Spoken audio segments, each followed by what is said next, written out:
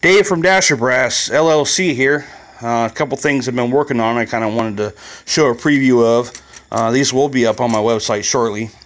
Uh, shooting matches, uh, chamber flags are a must. I've, i use them. There's a, a, couple of companies that make some really nice chamber flags that fit in, uh, show the guns safe and clear that we use a lot in uh, PRS matches. The 22 flags, though, there's a lot of different styles of them. You can get styles like this, uh, and these work pretty well. Um, I got a couple of these that I've bought from a couple companies, and they can put their logo and stuff on them, which is cool. Um, but a lot of them end up getting dropped and lost. They fall out of the gun, they don't stay in the chamber. It's kind of one of the problems with the 22. So, what I've been working on is a new type of flag. This is 3D printed from PLA. It's orange plastic. Um, it's pretty strong. There's some flexibility to it, so it's not easy to break. Um, and a couple of flags. Now these these have been prototyping. I'm going to give out during one of the matches coming up on the 21st at Frontline Defense, and they got my company logo in it. Just a little bit of advertising so I can get my name out there a little bit more. Um, this is the actual prototype here, and it's similar to what some of the centerfire guns use. Um, let me show you how this works here. And as you can see, there's a couple of uh, different trays I've been working on here, different caliber markings. Um, I'm, I'm trying out different print styles to see what works best, so more of those to come soon. Um, these I already have up on my website.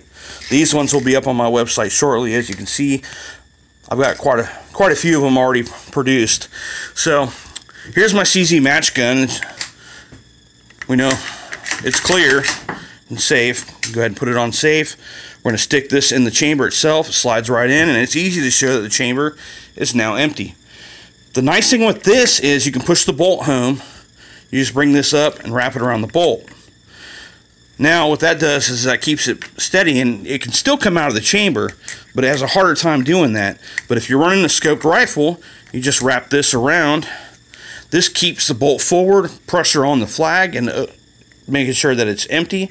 This has a nice chamber flag here to show that the gun is actually empty and safe.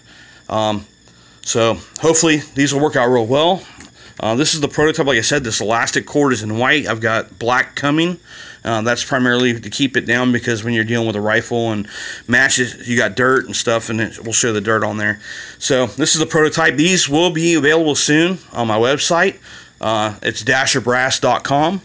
Um, I'm also working on a couple prototypes for uh, follower kits and magazine kits to run 6BR, 6 Dasher, 6 PPC, 6.5 Grendel, and other stuff out of AICS mags.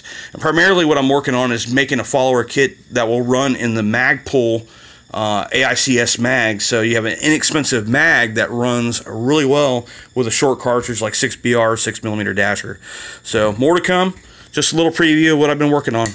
So you'll be able to find these soon at dasherbrass.com. Thanks for watching.